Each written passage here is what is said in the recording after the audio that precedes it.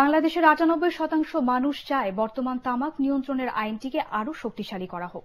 Dhaka reporters ইউনিটিতে consumer association of বাংলাদেশের জরিপে এ তথ্য প্রকাশ করা হয়। কনজিউমার অ্যাসোসিয়েশন অব বাংলাদেশের সভাপতি কাজী ফারুক, সাধারণ সম্পাদক ওমর ফারুক এ সময় উপস্থিত ছিলেন।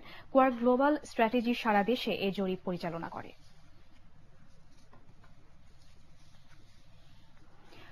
সড়ক দুর্ঘটনায় নিহত সাংবাদিক মিশুক মুনির ও চিত্র পরিচালক